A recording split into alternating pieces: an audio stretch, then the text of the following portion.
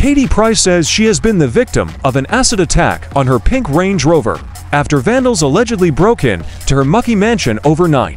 The 45-year-old mom of five took to her Instagram stories to show fans the damage to her vehicle, fuming in one video. It's nice to know someone in the night has come to throw acid all over my car, everywhere, all on my car. Thank you whoever that was. Katie then added the caption, scumbags outside my house on my private property.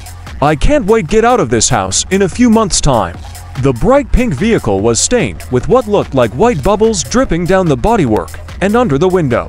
More acid bubbled along the back of the car and the window frames. Katie now plans to leave her Horsham home in West Sussex behind. After allegations, she was served an eviction notice after being declared bankrupt over an unpaid tax bill amounting to £750,000. Her creditors were granted eviction notices from Horsham County Court, with Katie expected to leave by the end of the month so the mucky mansion can be sold.